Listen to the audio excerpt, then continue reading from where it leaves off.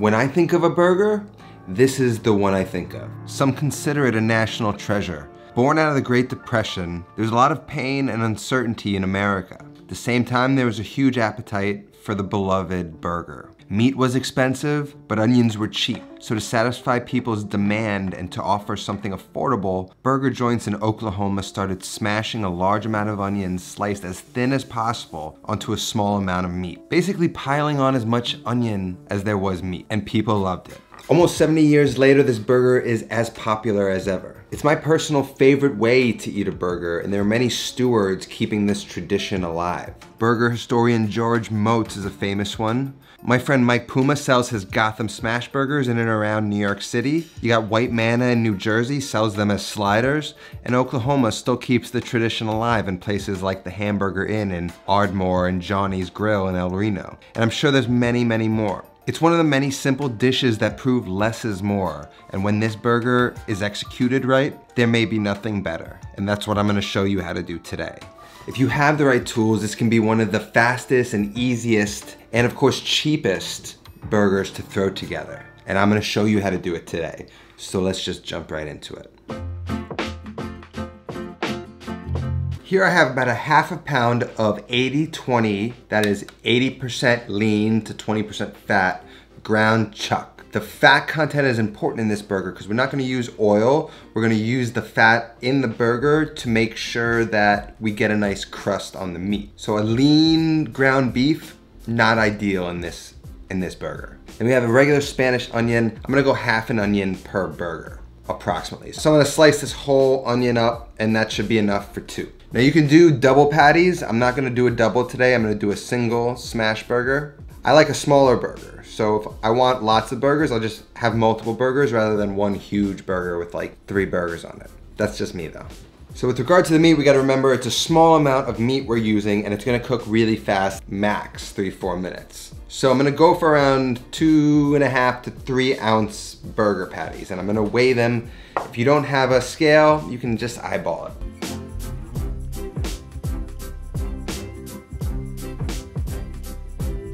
I'm gonna slice up my onion. Now, in an ideal world, I would say do this on a mandolin. That's gonna be the best. The thinnest setting on a mandolin, it's gonna get you the perfect shape and size of onion. But I always like to show how to do it by hand in case you don't have a mandolin or you don't wanna use a mandolin.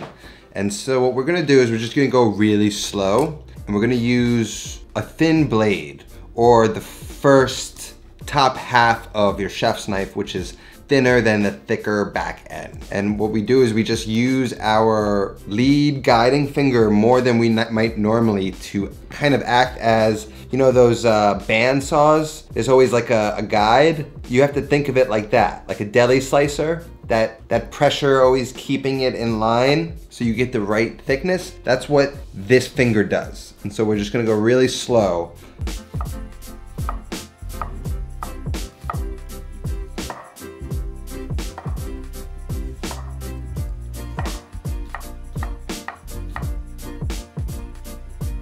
That's the thinness that you want to go for. That means they're gonna cook really fast and caramelize properly. Maybe that's a little too much for one, but you get the idea more or less.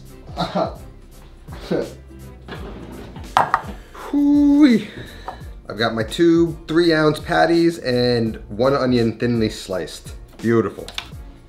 The bun we're going with is the Martin's and we're going with American cheese. If you don't like American cheese, I don't know what to say. Like I ran a grilled cheese food truck. I banned this from my food truck. I'm not a fan of it, but some things it just makes sense for. And this is an American burger through and through, and it just calls for American cheese. If you want to use cheddar, go ahead and use cheddar. If you don't want cheese, don't use any cheese, but I'm going with this. And now in its basic form, this burger has a bun, onions, and beef. And that's as simple as it needs to be in order to be delicious. But I'm gonna show you ways to kind of make it fun. You can kind of make a burger bar. You can make these burgers and then people can add whatever different condiments they might want. So first we're gonna slice up a few kosher pickles because a pickle is always a great thing to put in a burger because it's real fatty and rich and a pickle is acidic and it kind of cuts through the fat and lightens it up. Again, if you don't like pickles, then just leave them out.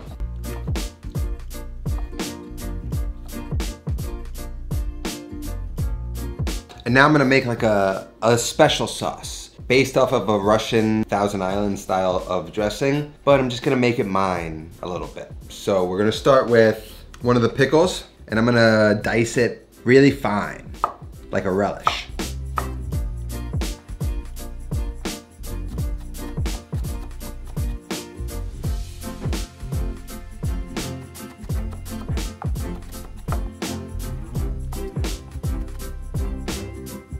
Got a little shallot. This works really nicely in this.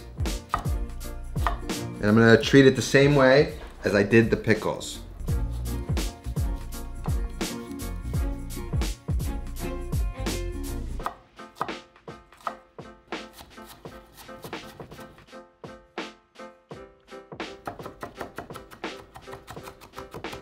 Then I got my Calabrians. I'm gonna throw a few of these in.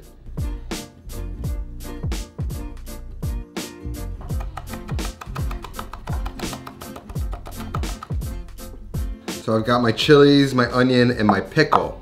I'm gonna take a little bit of that pickle juice, just a tad. I'm gonna go in with that. Get a little bit of that vinegar in there. I'm gonna go with some of that Calabrian chili oil.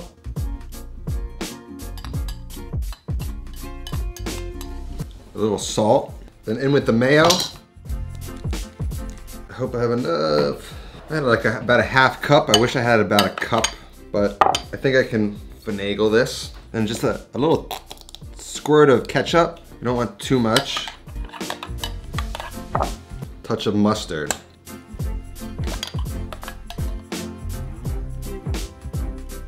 I actually like it. It's really interesting with that the, the chilies in there. It's not a straightforward Russian dressing. The chilies do sort of take it in another direction, but I like it. You can make it either way. I'm gonna do one with this and one without. So we'll see how that is. So we got our condiments waiting to customize our burgers for whoever wants what. And we've got our burger stuff ready to go get cooked. We've got a couple buns. Our cheese is ready to go. Everything moves fast, so we want everything done already. I've got a cast iron pan, a large one. It's been preheating on the stove on a low heat so I can go jack it up and we should be ready to go. My tools of choice are a silicone spatula, one that I can just kind of press down and I, I know it'll release, it's non-stick. Uh, if you wanna use parchment paper, you could do that as well. And then to, to scrape and flip, I like to use a fish spatula. It's kind of bendy. I can kind of work my way underneath there and flip these guys no problem. That's it, let's just go on over and smash some burgers.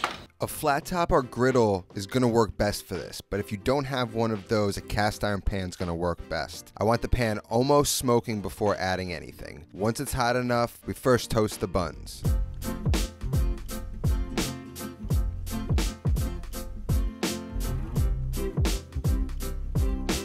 Once the buns are toasted, add two balls of the meat with space in between, and then smash them into the pan.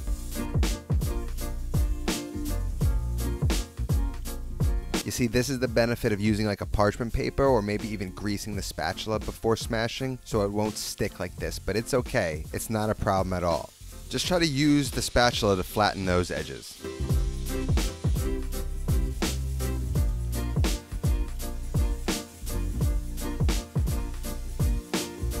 Once both are smashed, season with salt, then add a generous amount of onion.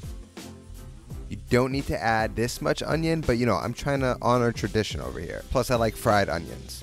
Salt them and then kind of smash them into the burger patty. This is gonna sweat out the onion juice and add that onion flavor to the burger. There's only really gonna be one side that develops a crust, so make sure your heat is high enough and do not flip until a solid crust has been developed on that first side. You can give it a little peek to see when it's close. Once you can see a crust has developed, scrape underneath it and then give it a nice flip with a lot of confidence. You should be greeted with a perfect crust. Give the onions a minute to cook and while they cook, season that side of the meat and then add the cheese. Then on top of the cheese, add the bottom bun and on top of the bottom bun, add the top bun. This is gonna steam the buns and warm them up. When the onions are nicely cooked, scrape the burger up, take the top bun, and close the burger up, and you're ready to dig in.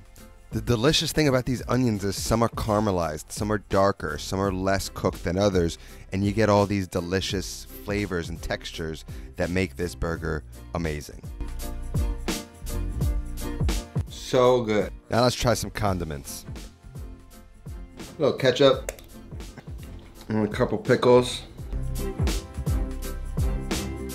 It's just fantastic any way you slice it. You could add the condiments, you could not. You could just add ketchup, just the pickle, make it a bar, make it an experience. But these are so easy, so fast, and so delicious. You might be insane to not give this a shot.